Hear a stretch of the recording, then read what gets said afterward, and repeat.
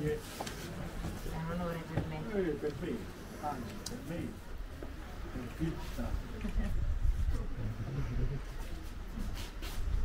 Io spendo una parola per salutare ovviamente la famiglia di Mirna, salutare il comitato che ha voluto fortemente questa targa e quanto mi incoraggia essere qui stamattina perché questa zona rossa è un ennesimo colpo al cuore alla vita della nostra città e il mondo della cultura, il mondo dello spettacolo, continuano i teatri ad essere chiusi, continuano i musei ad essere chiusi, eh, continua anche la vita dei luoghi dell'identità della città di Napoli ad essere un posto chiuso.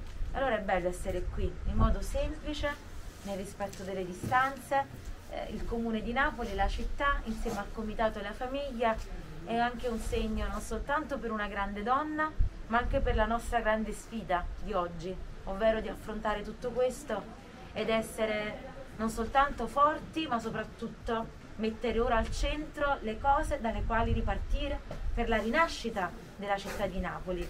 La cultura e le nostre identità è sicuramente il modo più bello e importante per affrontare questo momento di difficoltà e pensare a come brilleremo ancora più di prima quando tutto questo sarà finito.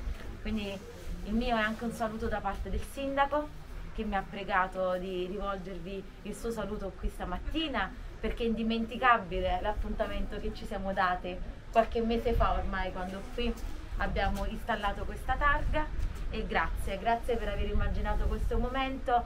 Se non ci fosse la vostra sensibilità e il vostro veramente impegno per la nostra città e per questo luogo così bello, probabilmente qui oggi stamattina non ci saremmo visti, quindi è a voi che va il ringraziamento più bello e forte. Grazie.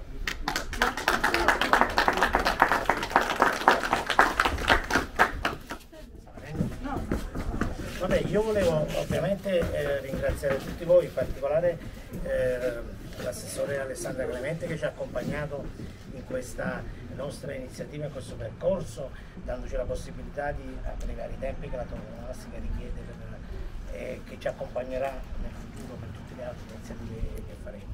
Voglio ringraziare il maestro Mario Treni che rappresenta la gloriosa tradizione della canzone del europea, lo ringraziamo di vero cuore, ringrazio la famiglia di Mirna diciamo, a cui abbiamo voluto veramente tanto bene e con, con i quali continueremo a fare tantissime iniziative in ricordo. E poi vorrei dire una cosa, ecco, io eh, come rappresentante dell'associazione anche di questo territorio, noi siamo orgogliosi e consapevoli che la magia di questo luogo nasce sicuramente dalla sua bellezza, dalla sua storia, dalla sua cultura, ma anche e soprattutto dalla canzone napoletana che l'ha resa immortale e quindi che ha ispirato poeti come Salvatore Giacomo, che ha dato i Natali a Mila Doris, che è stata forse la più grande interprete femminile della canzone e noi ci prendiamo l'impegno solenne qui affinché questo luogo è consacrato alla canzone napoletana non sia solo un ricordo, una testimonianza, ma sia la nostra capacità di renderla sempre più attuale adesso e nel futuro. Quindi grazie veramente a tutti. Sì, e poi ecco, un ringraziamento particolare a Salvatore Architravo. Eh, diciamo che è stato un po' l'artefice magico del documentario che ha eh, ricordato tutta questa iniziativa, tutta questa storia che abbiamo costruito intorno alla carriera di Nino, quindi lo ringrazio particolarmente a lui e per Perecchia che oggi non è qui eh, perché purtroppo lui vive a, a, a Taranto. E quindi siamo stati condizionati dalla tua, quindi un ringraziamento anche a voi da parte di tutti quanti. Grazie di nuovo. Grazie